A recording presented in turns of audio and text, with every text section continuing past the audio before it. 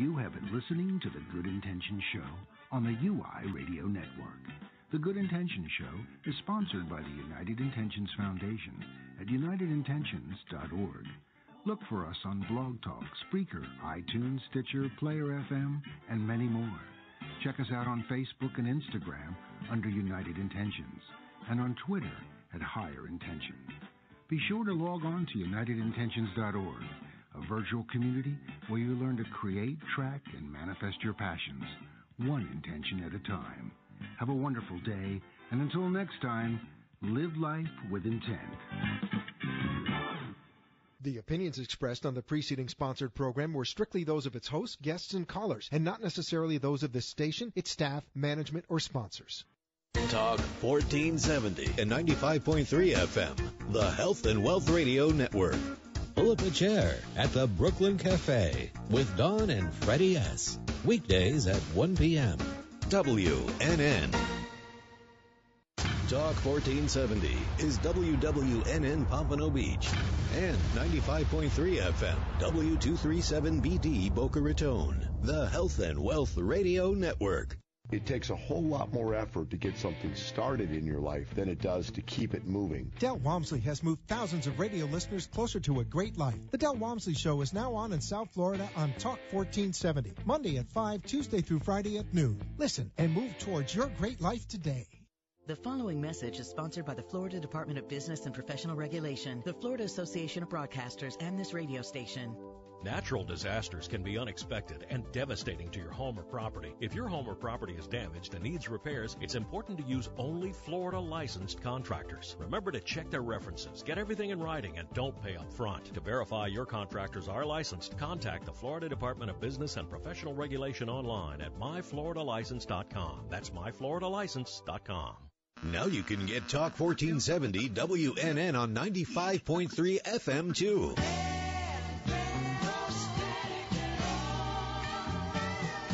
Loud and clear. Health and Wealth Radio, WNN. Great party, huh, guys? Yeah, it yeah, is. This so much great. fun. Uh-huh. I do say so myself. Um, hey, did you know that birthday parties actually help build confidence in kids? Um, yeah, I did know that.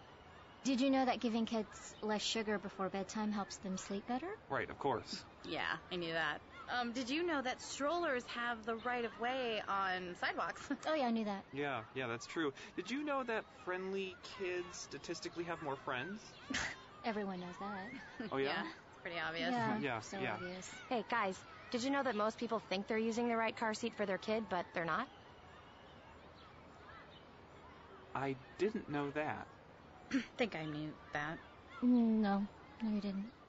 Parents who really know it all know for sure that their child is in the right car seat at the right age and size. Visit safercar.gov slash the right seat to make sure your child is protected. Brought to you by the National Highway Traffic Safety Administration and the Ad Council. Chris, can you put the video game controller down for a second? I can talk and play. Oh, I'm totally annihilating this punk kid in Nebraska. I just feel like you're not acting like a grown up in our relationship. M2, M2. Well, you know, you still ride your skateboard to work, there's the comic book collection, the race car bed. Look, I'm young at heart, but I put money into my 401k every paycheck. I picked up a few savings tips at feedthepig.org. I have control of my financial life now, and that feels pretty grown up.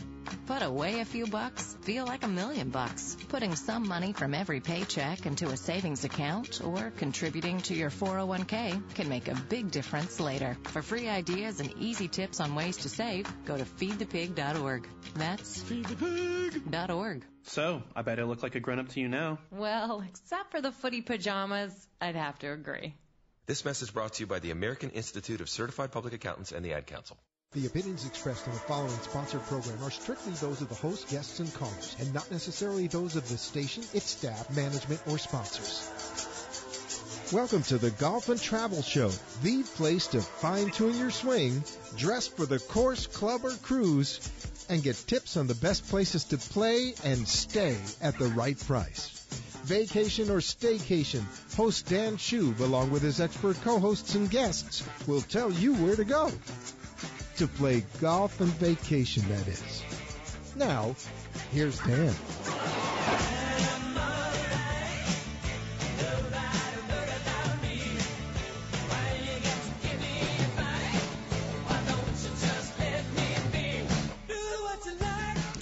Welcome to the Golf and Travel Show. I'm your host, Dan Schub, and tonight, like we typically do, we're going to talk a little bit of golf. We're going to talk some travel. I've got some great deals lined up for you later in the show.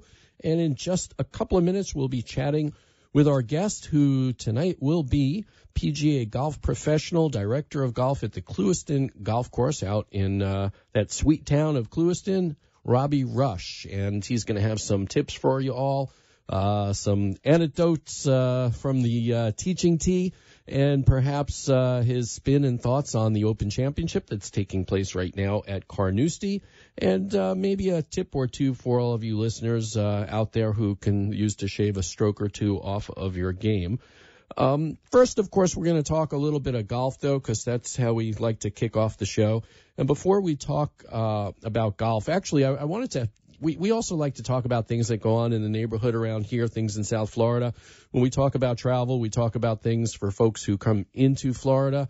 Um, but tonight is a little bit different than my normal schedule because usually I come down to the show, I do the show, I sneak down maybe to the Hard Rock, uh, play a little uh, cards down there for a while, and end up eating dinner at around 10, 11 o'clock on Friday night. But tonight, um, I brought a special guest into the studio who is going to comment also on the Open Championship, which happens to be my wife, but she neglected to speak about the Open Championship. So instead, I took her to dinner right here in Boca. And uh, just a little insight for all of you, some uh, inside information. And it, it works in other cities around the country too, because obviously I get to travel quite a bit.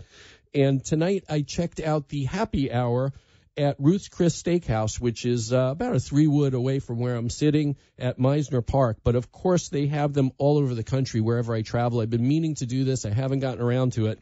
And they've got a happy hour that here at uh, Mizner, it starts at 4.30 and it goes till 7. Other parts of the country, it might start at 4 or end at like 6.30, so you kind of have to check the website for the specific location.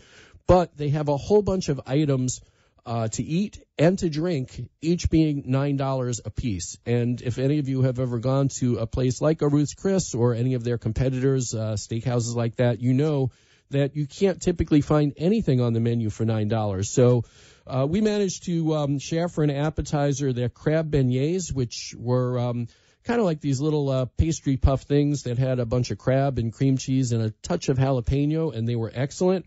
And then we each had a large steak sandwich on garlic bread. With a sliced steak from filet mignon.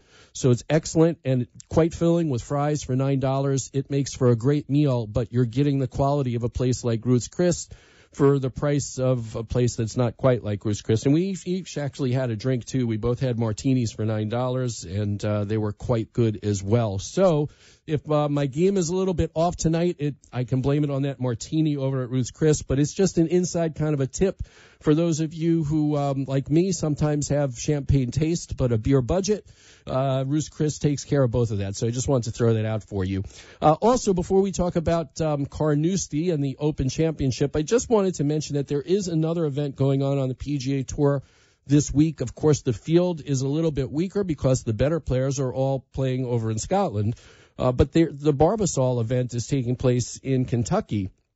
And what's unusual about this event, besides having a bit of a weak field, is they have um, a woman in the field playing on the PGA Tour, and that would be Brittany Lincicome. And she is, uh, I believe, the sixth woman to play on a PGA Tour event. Uh, I don't, I think just the first one perhaps actually made the cut and that was uh, Babe Zaharias, and it's it's been a long time since she's played, but uh, unfortunately, Brittany did not fare as well. She was uh, pretty close to last, um, I would say. I, I think she ended up finishing tied for 123rd. They're they're they had some weather issues, so I'm not sure if they finished the second round or not. But um, the cut line was minus three, and she was at about minus uh, plus six. So not even close to making the cut. And, you know, I, I mean, an event like this that needs to get a little bit of drawing power and publicity, I, I guess it's a good thing. And it was nice of them to invite her. She's won two majors on the women's tour and I believe maybe six other events or, or so. Uh, she certainly got some game, but it seems that these days that while the women's tour, they've got incredible talent out there, the men's tours have incredible talent too. And here you have an event that has a very, very weak field, and she still was not even close to making the cut. So uh, I give her a lot of credit for going out there and competing, and and it's again it, it stirs up some interest in the game, and there's there's nothing wrong with that. But I'm just not so sure that at this point um, that there's any women uh, currently or that it seems to be in the future that are going to have much of a chance against the men. And, you know, I, I suppose a lot of that has to do with the distance that they hit the ball. The courses on the men's tour are longer than the courses on the LPGA tour and that just sets them up to have a distinct disadvantage. Not to mention the pressure. You know, she really put a lot of pressure on herself to perform and and just try and make the cut. So, um, but kudos to her nonetheless. It, it was a great effort, and uh, I'm glad she had that opportunity. Uh, as far as Carnoustie goes, uh, first of all, what's cool about it is is that I, I kind of like watching late at night. Although I have to say that I'm not as good at staying up as I used to be. So I'll turn it on at like 1:30 in the morning, and they're just uh, getting started to tee off, and I'm kind of struggling to stay awake for you know the first few holes that I watch a couple of golfers play, and, and then I'm I'm out. But um, just as a reminder to everybody, as the weekend comes, Saturday and Sunday, they're not they don't start at 1:30 on the weekend because of course they've already cut half the field now. So I think they start on the Golf Channel closer to 4 a.m and then uh, a little bit later in the morning, they switch over to NBC, and the coverage is over by about 2:30. So I know that when uh, there's an event that's overseas that I would like to watch, I have a habit of waking up in the morning and forgetting, and then by the time I think about it, it's it's almost all done. So just a reminder, it's it's a lot of fun to watch this. It's Link Style Golf. Any of you folks that listen to the show on a regular basis, you know that I've been ranting uh, a little bit about uh, the regular tour and how the winners are shooting between 20 and 30 under.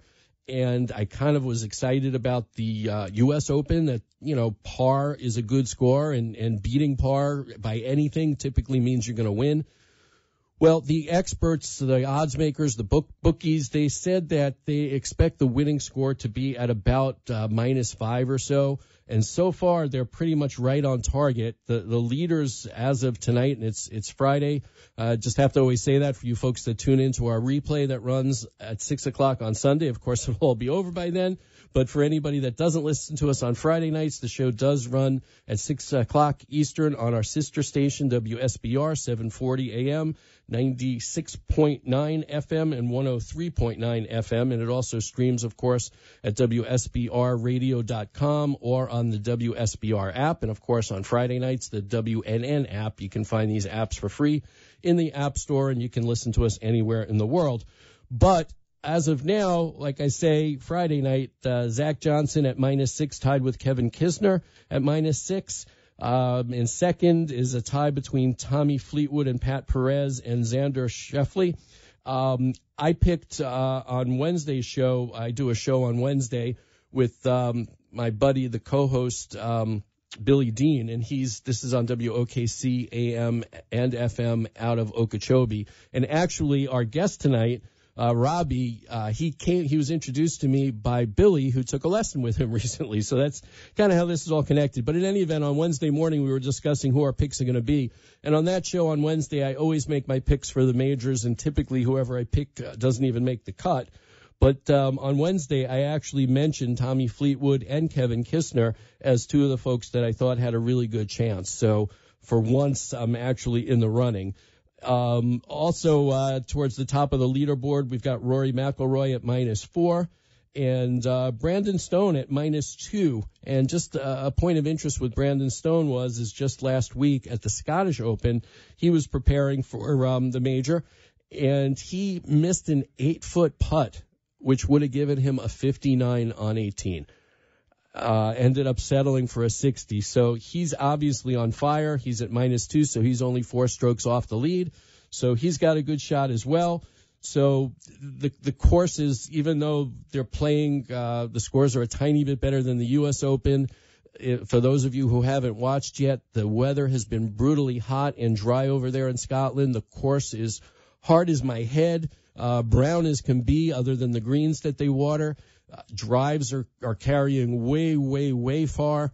Uh, but the key to a golf course like this, in my opinion, is staying out of trouble. Um, the, the gorse looks like a field of wheat. Um, you don't want to miss the fairway, and if you're not in the tall stuff, then you might be in a pot bunker where you go in there and you just disappear. You can't even be seen any longer. So I, I think the key is to stay out of trouble on a course like this. And we'll we'll talk to our PGA golf professional in just a minute or so and find out his take on that as well. So uh, I got my opinions, but I think it's better to defer to the professionals to find out a little bit more about how to attack a course that's hard, dry, and difficult. So uh, we'll find out about that. So what we're going to do is we're going to take a quick break for a word from our sponsors, and then we will be back in just a minute or two with the PGA golf professional, director of golf at Clewiston Golf Course, Robbie Rush. Don't want to miss that, so stay tuned. We'll be back with more of the Golf and Travel Show.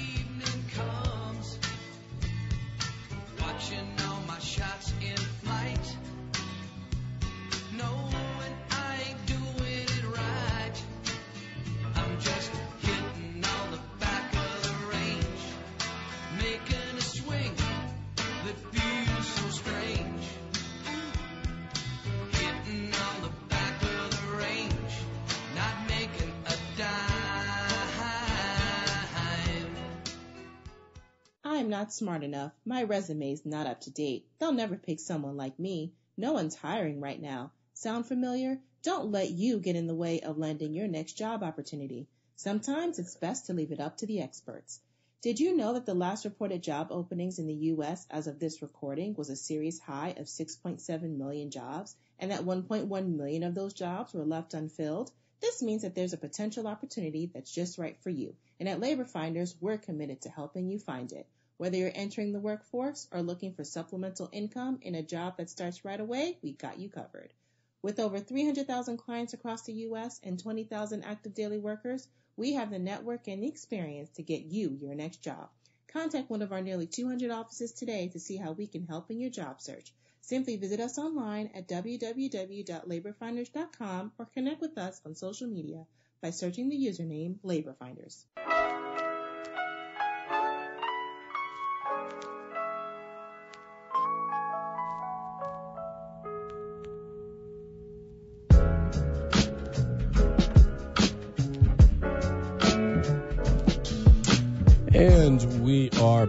And as I mentioned just a minute or two ago, we've got the Open Championship going on. And when we've got a major event like that, there's nothing better than getting some insight from somebody who actually knows how to play this game instead of a guy like me that just talks about it. Um, so without further ado, what I'd like to do is introduce to you the PGA golf professional, director of golf at the Clewiston Golf Course out in beautiful, sweet Clewiston, Robbie Rush. Robbie, how you doing tonight? Good. How you doing? I'm doing just fine. Thank you for joining us. And I, I briefly mentioned that the person that we have in common is uh, somebody who I've been working with for about 15 years doing the golf clinic with Dan and Billy on Wednesday mornings on WOKC in Okeechobee. And some people think he's the mayor of Okeechobee, but sometimes his golf game gets a little bit astray. And uh, it seems that he made his way over to Clewiston to seek out a little bit of help from somebody who knows what they're doing, like you. Yeah, he came over uh, last week actually to uh, take a golf lesson, and uh, it was quite something. We laughed a lot and actually helped him. Why do you sound so surprised? Isn't that what you do with most of your students? Well, I, it's the first time I met Billy. You never know what to expect. You know, do you hide the women and children, or do you, you know, you bring a tennis racket to the practice tee, or you know, what do you do? Well, there's a man who's was, he he's better with a fishing rod in his hand than a golf club. I think is what it is.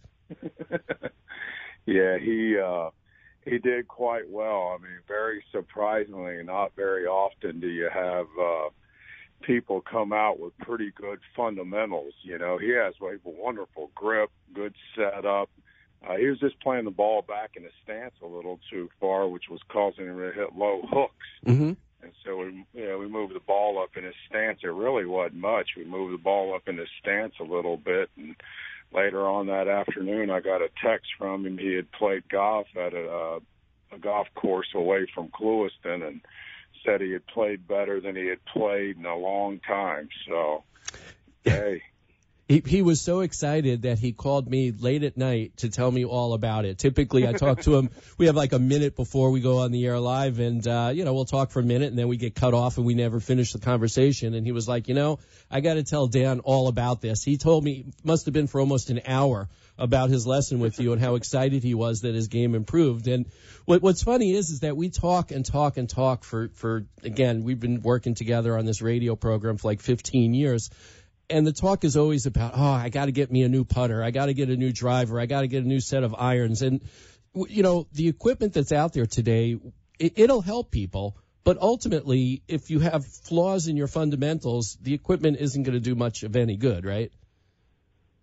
Uh, yeah, exactly. I mean, I've always based my teaching and most of your PGA golf professionals I mean, it's fundamentals. I tried to explain to Billy. I'm like, Billy, listen, if your grip's good, your alignment's good, your posture's good, ball position's good, you've got 99.9% of it, you know, where you can uh, enjoy yourself. So yeah, with the equipment, you know, what is the saying always? Is it's uh, it's uh, not the arrow, but it's the Indian. Mm-hmm. Yeah, no doubt about it. And you know what else is also interesting? Of all those things that you mentioned, I, I believe each and every one of them takes place before you even start your swing. That's what I told him. I said, hey, Billy, I said, you do all this. I mean, your result out there, once it takes off the ball, I said, it's all a result of what you do before you hit the golf ball. Right. It's, yeah. And, and just being off by a tiny bit, like his alignment or where his ball was being placed, when you're hitting, a, especially off the tee, you're hitting a drive and it's going 200 or 250 yards or whatever. If you're just like a quarter of an inch or a half an inch off, that gets magnified so much over the distance of over 200 yards that it's definitely the difference between being in the fairway or the rough or the rough or the woods. Yeah, the further you hit it, the further it's going offline. Remember that. So we're on the radio, and before we, I wanted to get your feedback on the Open, but on the radio, not so easy to give lessons. But I always like to give a little bonus to any of the listeners who are listening who can get like a free tip or something, because everybody wants a little something for nothing. So, what kind of a simple, basic tip do you think that you can give the listeners that they could easily understand on the radio, where they can't see what it is that you're talking about? Uh, how about sand? How about sand traps? How sure. about sand shots? Okay. Uh, I see a majority of most people. Everybody's scared of the sand, you know, hitting it in a sand trap. Mm-hmm. And as they always say, hey, a golf professional or a good player would rather hit it in the sand trap. You know, depending. I mean, you know, you look at this British Open, you probably don't want to hit it in too many of those sand traps. yeah, you're halfway to China.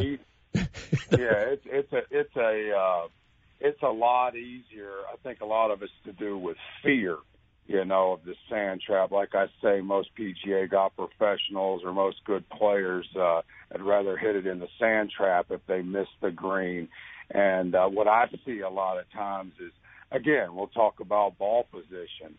I mean, the ball needs to be played a little bit forward in your stance. I always try to tell my students that come to me for sand trap or for uh, lessons out of the sand, say, listen, got to move the ball forward where your nose is behind the golf ball and the shaft of the club leans back a little bit. Open up the club face, all right, and take a long, smooth swing, getting your thumbs up on both sides of your swing, and give it a little, hey, give it a little bit of uh, gusto down at the bottom. That's something you know the sand resists.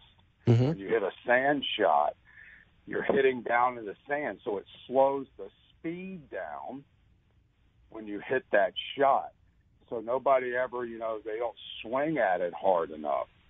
So like I said, move the ball forward where your nose is behind the golf ball, where the shaft of the club feels like it's leaning back. Open the club face and take a long, slow swing, getting your thumbs up on both sides of your swing with a little bit of uh, gusto down at the bottom. And I bet you that'll help you with your sand shot. Well, I think what you said in the beginning is a real good start as well because I think it's the fear of lots of things on the golf course the, the that starts with a mental negative thought that really throws people off. If you're afraid to putt, if you're afraid of the water, if you're afraid to be in the bunker, chances are the outcome won't be good. It becomes like a self fulfilled prophecy. I think you need that optimism, especially when you got a good tip working with you too. You could be more optimistic if you know what you're doing. right? That's true. Knowing what you're doing, you know, uh, it helps out an awful lot. But it's funny you say that because you know, when you fear is what I mean, you see it with the best players in the world. Sure. I mean, you see what happens. They get a little bit of doubt. You know, they've made that three foot putt a million times, but they get that little bit of doubt in their mind, and it causes you to do things, you know, that you normally don't do, such as you know, move or you flip it or you do this. You know, you do something unfundamental there. But fundamentals are the way to go. And like I said. uh what do they say? If you're scared, say you're scared. So practice, try to do it right, use the fundamentals, and uh, it can be a lot easier. Maybe fear doesn't set in as much. Now, I want to talk briefly about the golf course out there itself. I, it's probably been about 13, 14 years since I've been out there, and for what I remember, it was pretty nice. But Billy said that your greens are just in phenomenal shape right now. So, what's going on out at the Clewiston Golf Club? Uh, we re- we renovated our greens. We redid our greens with uh, Champion uh, Bermuda grass, which is uh, you see that going in a lot, mm-hmm. you know, at these golf courses. So we renovated them in 2016, and I've been real fortunate to have a couple guys that's helped me out out there that have been uh, a guy by the name of Jeff Kent, who was the director of agronomy at Quail Hollow, where they played last year's PGA championship and they play the Wells Fargo championship. He was the director of agronomy for 12 years. Mm-hmm. So he helped me grow those in and oversaw them. And now he's at Colleton River Club in Hilton Head, which is a, I think they hosted the U.S. Junior there in 2015. And now I've been blessed with, uh, another gentleman by the name of Eric Knutson, who was down at the Ocean Reef Club and also down at Mizner Country Club in sure. Boca. Yep, that's road, just so, up the road uh, from here. Yeah, so the greens are really good. I mean, what's so great about the golf course? It was built in 1929, and it's a Stiles and Van Kleek who did uh, many uh, good golf courses in our country and uh, you got the false fronts and the false sides. They're push-up greens, so they're elevated up. You hit shots. You know, there's only some certain places. You know, there's only a few flat spots. You know, on these greens, but it's an old golf course. It's fantastic. It's so fun to play, and uh, like I said, it reminds me a lot. It doesn't have the quite the length of these days of a U.S. Open type venue, but with the false fronts and the false sides and the push-up greens, it's uh, it's it's a it's a good test and it's in really good shape. And like I said, the greens we get the greens so quick that with those false fronts and false sides, you need a little knowledge when you play golf there. You need to play there once or twice to know where to actually hit it on the green. But it's in good shape. We've changed a lot out there, and uh, we're going in the right direction. And I know that it's part of the Florida Historic Golf Trail, correct? Yeah, that's right. We got elected in 2016 on the Florida Historic Golf Trail, which is uh, what an honor that is, you know, to be on that, uh, to be recognized and be put on the the trail and and that's helped too. You know, a lot more play. What's funny about it is I see a lot of people from the East Coast and the West Coast that are buddies, and what they do is it's a perfect meeting spot mm-hmm. for people on the East Coast and the West Coast. You know, I see people coming through the shop all the time. Where are you from? Oh, Robbie, I'm from Stuart. I got a buddy that's coming over from Fort Myers. This is perfect. You know, it's right in the middle they come, they enjoy it, they come and they're like, Robbie, this is one of the better public golf courses I think I've ever played. Well, well, that's the other thing. A lot of pride. You know, you mentioned public golf course, and uh, sitting here where I am in Boca, I, I've got uh, the Boca Hotel and Resort. I can see out my window where they're probably charging right now in the off season like only $180 to play. Uh, a little bit less expensive to come out to Clewiston to play, right? Yeah, we run a deal. You can come out there and you can play as many holes as you want to play for thirty dollars. Wow, that's you know, crazy. It's uh, and it's great. And I tell you, so many people take that uh, take us up on that, and they love it. I mean, we treat we're so hospital. I mean, we're in the hospitality business, and you know, with the service, we try to create a product that the